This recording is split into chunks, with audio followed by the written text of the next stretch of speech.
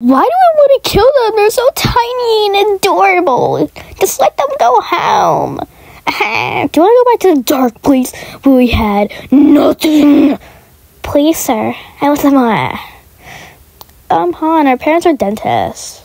So, how was school today, sweetie? Uh, hello? Oh, stop it. Stop it, no!